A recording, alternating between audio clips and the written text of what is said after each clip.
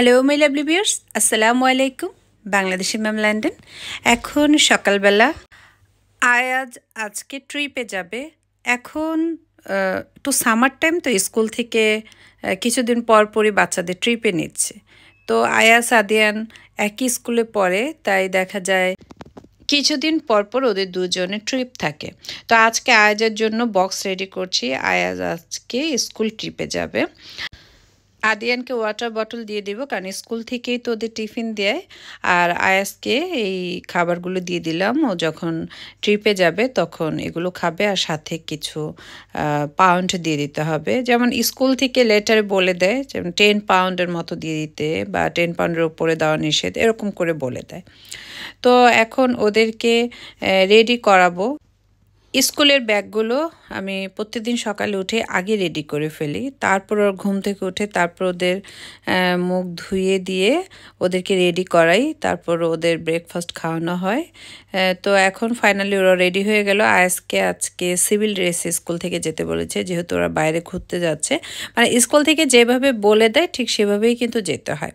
আর আয়াস নেক্সট উইকে fourth of July PGL অর্থাৎ স্কুলে একটা প্যাকেজ আছে ইয়ার সিক্সে উঠলে যে ফাইভ ডেসের জন্য বাচ্চাদের টিচারদের সাথে হলিডেতে যেতে হয়। সেখানে গার্ডিয়ান অ্যালাউ না, বাচ্চারা যাচ্ছে। তো আয়াজও যাচ্ছে।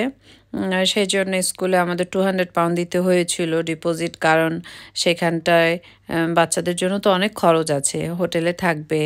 মানে ওদেরকে শেখানো হয় যে বাবা মা ছাড়া কীভাবে তুমি তোমার নিজের সেলফে একা চলতে পারো, এই জিনিসগুলো হচ্ছে ওদেরকে শেখানো হয়। তো যাচ্ছে, ওর জন্য টুকটুক করে কেনাকাটা করছি, কারণ অনেক কিছুই লাগবে, টিচাররা অনেক বড় লিস্ট দিয়ে দিয়েছে। তো আজকেও কিছু কিনবো। বাচ্চারা চলে যাওয়ার পর আমি আমার হাজব্যান্ডের নাস্তাটা রেডি করে তারপর নিজে ব্রেকফাস্ট করে তারপর আমি রেডি হয়ে কিন্তু জবে চলে আসলাম। জবে আসার পরেই প্রথমে আমি আয়াজের ট্যুরের জন্য কিছু কেনাকাটা করছি। আমাদের এখানে আবার ট্রাভেল সাইজের জিনিসপত্র পাওয়া যায় মানে ঘুরতে যাওয়ার জন্য ছোট ছোট শ্যাম্পু ছোট ছোট বডি ওয়াশ ট্রাভেল ব্রাশ অনেক কিছু পাওয়া যায়। তো আয়াজের যা যা লাগবে সেগুলো নিয়ে নিব। আর এই শ্যাম্পুগুলো তো আমার বাসায় রেগুলার ইউজ হয়। তো এগুলো কিনে নিলাম। এই শ্যাম্পুগুলো একটু দাম বেশি কিন্তু খুব উপকারী। মানে মাথার চুল পড়ে না আর খুশকিটা খুব তাড়াতাড়ি ভালো হয়ে যায়। সেই জন্য আমার হাজব্যান্ড বাচ্চারা সবসময় এই শ্যাম্পুটা ইউজ করে। আমার কাছে মনে হয় শ্যাম্পু একটা হলেই হয়, কিন্তু আমার হাজব্যান্ড বলে, না, এই শ্যাম্পুটা খুব ভালো। তারপরে আমি ইউজ করে দেখলাম যে, না সত্যি খুবই ভালো। তো আমার কাজ শেষ করে এখন আমি আবার বাসার দিকে যাচ্ছি। বাসার দিকে অর্থ স্টার্ট ফুটে যাব। তারপর কিছু কেনাকাটা আছে। আসলে বাসায় অনেক কিছু লাগে। তো ভাবলাম আমি আইসল্যান্ড থেকে এখন কিছু নিয়ে যাই, আর আদ্রিত ওদেরকে স্কুল থেকে আজকে নিয়ে আসবে। তারপর আমি বিকেলে আয় যখন মসজিদে যাবে তখন বাকি কেনাকাটাগুলো করে নেব। আইসল্যান্ড থেকে কিছু জিনিস কেনার পর আমি বাসে করে বাসার সামনে চলে আসলাম। কারণ একটু একটু বৃষ্টি হচ্ছিল আর আমার ডান পায়ের পাতায় খুব ব্যথা হয়। আমি জানি না কেন, করোনা হওয়ার পর থেকে পায়ের পাতায় খুব বেশি ব্যথা হচ্ছে, তাই মাঝে মধ্যে এখন বাসে করে চলে আসি। তো বাসায় আসার পর আইসল্যান্ড থেকে এই জিনিসগুলো আমি নিয়ে আসলাম আর এসে বাচ্চাদের আগে ফ্রেশ করে দিয়েছি, কারণ ওরাও আদ্রিতার সাথে চলে আসছে। তো আদ্রিতার ফেভারিট নুডলসটা সবসময় আনতে হয়। এতদিন তো বলেছিলাম যে আইসল্যান্ডের নুডলসটার দাম কম, এখন আবার দেখলাম দুদিন ধরে নুডলসের দাম বাড়িয়ে দিয়েছে। ডিম দরকার বাসায়, আয়াজের কেনাকাটা কেনাকাটা ট্রিপের জন্য কিছু করেছি, বাচ্চাদের আইসক্রিম এই তো। তো ওদের এখন খাবার রেডি করে দিচ্ছি। ওরা বার্গার খাবে আর নাগেট খাবে। এই যে বড় বড় টাইপের এগুলো বার্গারে দিয়েও খাওয়া যায় বা এমনিও খাওয়া যায়। আর আমি আমার কাজের থেকে এই সালাডটা প্রায় কিনে আনি আপনাদের সাথে আরও শেয়ার করেছি। আমার খুব ভালো লাগে। আমি প্রায় এই খাবারটা নিয়ে আসি, আমার হাজব্যান্ডের জন্য নিয়ে আসি, আমার জন্য নিয়ে আসি। আমরা দুজন খুব পছন্দ করি। তো এরই মধ্যে আয়াসকে রেডি করিয়ে মসজিদে পাঠিয়ে দিলাম। আদিয়ানও কিন্তু অনলাইনে এতক্ষণ আরবি পড়ল। আদিয়ান ফাইভ ডেজ আরবি পড়ে অনলাইনে আর আয়াস তো থ্রি ডেজ যায়।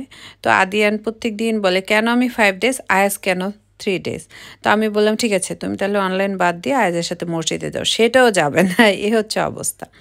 তো আমি আজকে ফাইভ থার্টিতে বাসা থেকে বের হলাম। কারণ কি? আয়াজের মসজিদ ছুটি হবে সাতটার দিকে। তো ফাইভ থার্টিতে বের হওয়ার আমার একটাই কারণ, আমার আজকে কিছু কাজ আছে। প্রথমে যাব কোরবানি ঈদের জন্য। কোরবানি বুকিং দিতে। আমার হাজব্যান্ডও যাওয়ার কথা ছিল, কিন্তু ওর তো অফিস থেকে আসতে একটু দেরি হয়। তো আমাকে বলল যে, তুমি তাহলে দিয়ে দাও। তো আমি চলে আসছি এবং এই সপ্তাহের মধ্যে আমাদের বেশি কোরবানির জন্য বুকিং দেওয়া হয়। তো আমি বিফের জন্য বুকিং দিয়ে গেলাম। এখানে আমাদের ভাগ হিসেবে নিতে হয়, তাতেই অনেক দাম। আর এবছর অনেক দাম।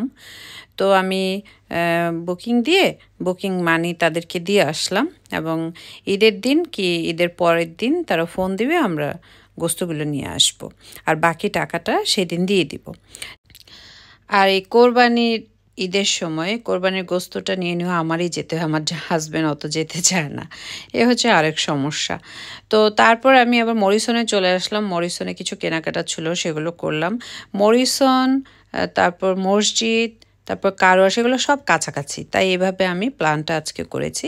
তারপর মরিসনের কাজ শেষ করে আমি মসজিদের কাছে একটা কার ওয়াশে চলে আসছি। এটা হচ্ছে হ্যান্ড কার ওয়াশ মানে এটা মেশিনে হবে না, এটা তারা হাত দিয়ে করে দেবে।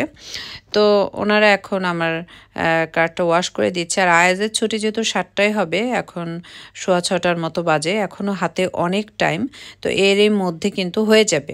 আর এই কার ওয়াশটা হয়ে গেলেই কিন্তু আজকের জন্য আমার কাজ শেষ। তারপর আমি আয়াসকে নিয়ে বাসায় চলে যাব। মানে বাইরের কাজ শেষ। তারপর বাসায় তো কাজ থাকবেই। তো কাঠটা কিন্তু খুব সুন্দর করে তারা ওয়াশ করে দিল। তো এখন আমি মসজিদের দিকে যাচ্ছি। আর মসজিদের দিকে যাওয়ার জন্য কিছু সহজ রাস্তা ছিল এগুলো দেখলাম সব বন্ধ করে দিয়েছে। অনেক ঘুরে তারপর যেতে হলো। মানে একদম কাছে। আপনি যদি কারওয়াশ থেকে মসজিদে হেঁটে যান, তাহলে আপনার দু থেকে তিন মিনিট লাগবে। কিন্তু গাড়িতে গেলে আমার প্রায় পাঁচ ছ মিনিটের মতো লাগছে। কারণ কি? কিছু কিছু রাস্তা ওরা ব্লক করে দিয়েছে, সেজন্য ঘুরে ঘুরে যেতে হচ্ছে। তো মসজিদের কাছে এসে বসে আছে, এখন পৌনে সাতটা বাজে। পনেরো মিনিট আমার বসে থাকতে হবে। তো এই পনেরো মিনিট আমি মোবাইল দেখি আমার হাজব্যান্ডের সাথে একটু ফোনে কথা বলি, এরকম আর কি। তো বাচ্চারা বের হয়ে গেল, আয়াজ, আয়াজের ফ্রেন্ড দুজন। তো ওরা বের হয়ে গেল, ওদেরকে আমি গাড়িতে সেট করে দিলাম। তো এখন আমরা বাসার দিকে যাচ্ছি। আমাদের একটা সিস্টেম হয়ে গেছে। যেমন আমি ওদেরকে নিয়ে আসি, আবার দেখা গেল আইজের ফ্রেন্ডের মা মানে এবার ছোট বোনটা, ও নিয়ে যায় সব সময় ও আমাকে অনেক হেল্প করে, ওকে আমার খুবই ভালো লাগে, খুব ভালো একটা মানুষ। আমাদের দুজনের আন্ডারস্ট্যান্ডিংটা খুবই ভালো। আর আমার যদি কখনো খারাপ লাগে, আমি যদি বলি, আজকে আমার ভালো লাগছে না। তো বলে, আপু, আপনার যেতে হবে না, আমি যাই। আয়েজের আবার আরেকটা ফ্রেন্ডের মা আছে, উনিও গিয়ে নিয়ে আসে, ওরা পাকিস্তানি। মানে এই তিন ফ্যামিলি আমরা ঘুরে ফিরে আনা নেওয়া করি ভালো লাগে। কারণ দেখবেন একা যাতায়াত করলে কেমন যেন একঘেয়েমি লাগে, কারণ সংসারে তো আরও অনেক কাজ থাকে সেজন্য। তো আমরা প্রায় বাসার দিকে চলে আসছি। তো আয়াজ ট্রিপে যাবে ফাইভ ডেজের জন্য সেই জন্য। ফ্রেন্ডদের সাথে গল্প করছিল। তো ওর ফ্রেন্ড সবাই কিন্তু যাচ্ছে না। তো আয়াজ যেতে চাইলো, আমরা না করলাম না। তো যাক, আল্লাহ যেন ওকে ঠিকঠাক মতো আবার আমাদের মাঝে নিয়ে আসে। শুধু ওকে না, যতগুলো বাচ্চা যাচ্ছে, সবাইকে যেন আল্লাহ সুস্থভাবে আবার বাবা মার কাছে ফিরিয়ে আনে। তো আমি মরিসন থেকে অনেক বাজার করে নিয়ে আসছি। আইসল্যান্ড থেকে বাজার করা যেত, কিন্তু আইসল্যান্ড থেকে আনতে একটু কষ্ট হয়ে যায়। যে বললাম, আমার পায়ে ব্যথা করোনার পর থেকে আমার হাতে পায়ে খুব ব্যথা হয়। আমি কিন্তু খাচ্ছি, ভিটামিন সি খাচ্ছি, ক্যালসিয়াম খাচ্ছি তারপর ঠিক হচ্ছে না। তবে প্যারাসিটামল খেলে কিছু কিছুক্ষণ কয়েক ঘণ্টার জন্য ঠিক থাকে, আবার পেনটা শুরু হয়। আল্লাহ ভরসা। তো আমি সবজি কিনলাম, কারণ আমার হাজব্যান্ডের সবজি শেষ হয়ে গেছে। তা আজকে ভাবলাম যে, আজকে আর অত রকমের সবজি দিয়ে রান্না করব না ক্রুজের দিয়ে আলু দিয়ে একটা ভাজি করে ফেলব, মুরগির গোস্তটা রান্না করব, আইজের জন্য মাছ ভাজবো ফ্রিজে ডাল আছে আর মাছের তরকারি আছে।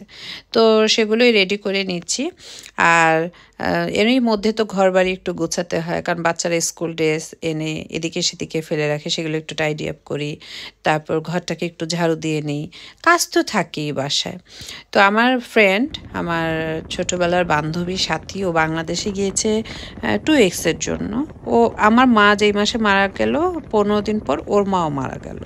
ওর মা দেখতে অনেক সুন্দর এবং অনেক ইয়াং ছিল। তো আন্টি হঠাৎ করেই মারা গেল, আমরা অনেক কষ্ট পেয়েছে আন্টির জন্য। তো ও মাঝে মধ্যেই যায় বাংলাদেশ ওর বাবার কাছে। তো ও, ওর বোন ওরা বাংলাদেশে গিয়েছে টু উইক্সের জন্য। তো ও আমার জন্য পদ্মা সেতু ভিডিও করে নিয়ে আসছে। পদ্মা সেতু দিয়ে ফরিদপুরে যাচ্ছে। ফরিদপুর হচ্ছে ও দাদাবাড়ি। তো আমার অনেক ভালো লাগছিল। আর ও যখন বাংলাদেশে যায় বা কোনো জায়গায় যায়, আমার জন্য সবসময় ছো, ওর ছবিগুলো সেন্ড করে যে দেখ এভাবে সাজছি, এটা করছি। না, অনেক ভালো। তো ও যে ঘুরছে, ফিরছে, আমার কিন্তু অনেক ভালো লাগছে। মানে আমার কাছে মনে হচ্ছে যে, না, আমার আপন বোনই ঘোরাফেরা করছে। ও খুশি থাকলে আমার যেন একটু খুশি লাগে, এরকম আর কি। তো পদ্মা সেতু দিয়ে যাচ্ছিল আর আমাকে ভিডিওগুলো করে করে পাঠাচ্ছিল। আমি সত্যি অনেক কৃতজ্ঞ যে লন্ডনে বসে পদ্মা সেতুটা ঠিক এভাবে দেখতে পাচ্ছি। টিভি নিউজে তো দেখা যায়, তবে নিজের মানুষ যখন ভিডিও করে পাঠায় তখন কিন্তু আরও বেশি ভালো লাগে, কাজ করে। তো আল্লাহ যদি ন্যাক হায়াত দেয় আর কখনো যদি বাংলাদেশে যাই, ইনশাল্লাহ আমার দাদাবাড়িতে যাব, তখন আপনাদের সাথে শেয়ার করব। দাদাবাড়িতে আমার আসলে অনেক বছর যাওয়া হয় না, কারণ আমার চাচা ফুপুরা সবাই চাচারা তো সব ঢাকায় সেটেল ছোট চাচাও আর ফুপু তো শ্রীনগরে। তো এবার ইচ্ছে আছে যাব। আমার দাদাবাড়িতে চাচা খুব সুন্দর একটা বাড়ি বানিয়েছে ডুপ্লেক্স বাড়ি, সেটা আমি আপনাদের সাথে শেয়ার করব। তো ইনশাল্লাহ আল্লাহ যদি সেই তৌফিক দেয়, অবশ্যই সবার সাথে দেখা হবে এবং গ্রামের সবার সাথে আমার খুব ভালো চেনা জানা। কারণ আমি ছোটোবেলার থেকে বেশিরভাগ সময় আমার দাদা দাদির সাথে কাটাতাম। আমার স্কুলের পরীক্ষা শেষ ফাইনাল পরীক্ষা শেষ, আমি আমার দাদির কাছে চলে যেতাম। আসলে এখন ফিল করি যেটা খুব ভালো কাজ করিনি। মা ছোট ছোট বাচ্চা নিয়ে থাকতো, শুধু দাদির কাছে চলে যেতাম। এখন মনে করি যে না, জিনিসটা আসলে খুব বেশি ভালো হয়নি। মাকে আরও বেশি বেশি সময় দেওয়া দরকার ছিল। আসলে এমন একটা বয়স সবারই থাকে যে বয়সটা হয়তো বা মানুষ উপলব্ধি করতে পারে না যে কোনটা করলে ভালো হবে, কোনটা করলে খারাপ হবে। তবে এখন খুব ফিল করি যে মাকে রেখে রেখে দাদির কাছে গিয়ে থাকতাম, জিনিসটা আসলে ভালো কাজ করিনি। কেন জানি আমি ছোটোবেলা থেকে আমার দাদিকে খুব বেশি ভালোবাসতাম।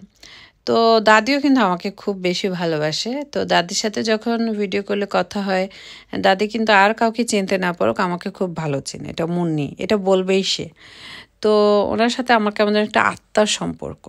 তো এখনও আল্লাহ তালার অশেষ রহমতে আমার দাদি সুস্থ আছেন। যদিও ওনার হাঁটা চলা একটু সমস্যা হচ্ছে, তারপর খাওয়া দাওয়া কথাবার্তা, আলহামদুলিল্লাহ সব কিছু ঠিক আছে।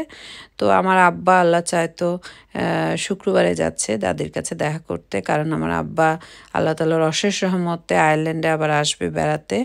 ভেরি সোন আসবে, সেজন্য আব্বা সবার জন্য ছোট ছোট গিফট কিনেছে এবং আমার গিফটগুলো আমার একজন দেবর বাংলাদেশে গিয়েছিল, ওর মাধ্যমে আমাকে পাঠিয়েছে। বলল যে, তুমি আয়ারল্যান্ডে যাও কি না যাও, তোমাকে দিয়ে বিশ্বাস নেই। কারণ আমার ফ্যামিলি সবাই জানে যে, আমি একটু সংসার প্রীতি হ্যাঁ আর সংসার প্রীতিটা কেন হয় জানেন? প্রথম থেকেই তো আপনি বুঝতে পারবেন যে আপনার কোন জায়গার প্রীতি থাকতে হবে, বাবার বাড়ি না শ্বশুর বাড়ি? তখনই কিন্তু আপনি বুঝতে পারবেন যে, ও আচ্ছা আমার সংসারের ধরন এরকম, তাহলে তো আমার এইভাবেই থাকতে হবে। যেমন আমি বুঝেছি যে, আমার হাজব্যান্ড অনেক কিছু পছন্দ করে না এবং তার মতো করে আমার চলতে হবে, তাই আমি সেই স্বামী স্বামী স্বামী সন্তান সন্তান করেই কিন্তু সংসার করে যাচ্ছি। এবং আমি মনে করি মেয়েরা এখনও খুব অসহায় এবং মেয়েদের এভাবেই সংসার করা দরকার। কারণ আপনি যতই শিক্ষিত হন না কেন, ওই ঘুরে ফিরে এই সংসারে কাজকর্ম, সন্তান পালন করা, এগুলোই করতে হয়। আর যদি আপনি এগুলো মেনটেন করতে না পারেন, তাহলে দেখা গেলো আপনি সেপারেশনে চলে যেতে হবে, আর কোনো উপায় নেই। তা আমি দোয়া করি সবার সংসার জন্য আল্লাহ ভালো রাখে, ধৈর্যটা কিন্তু রাখতে হবে। ধৈর্য ছাড়া কিন্তু সংসার টিকানো অনেক মুশকিল। তো ওই যে বললাম, আব্বা আসবে, ওদের জন্য অনেক গিফট কিনেছে। আর আমার জন্য এই শাড়ি আর গহনাটা আমার মেঝো বোন আমাকে গিফট করেছে। ও আমার জন্য, জয়ের জন্য এরকম গহনা কিনেছে। আমি অনেক খুশি হয়েছি। আর শাড়িটা ওদের পছন্দে দিয়েছে। শাড়িটা নাকি পরার পর ছবি তুললে অনেক ভালো লাগবে। যদি আমার শাড়ি অত পরা হয় না।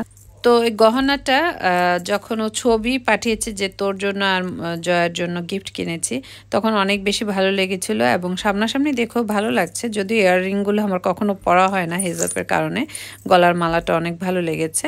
আর আমার বেশিরভাগ অর্নামেন্টসগুলো আমার মেঝো বোনেরই দেওয়া। ও সব সময় ওর জন্য অর্ডার করলে আমার জন্য করে, এরকম আর কি।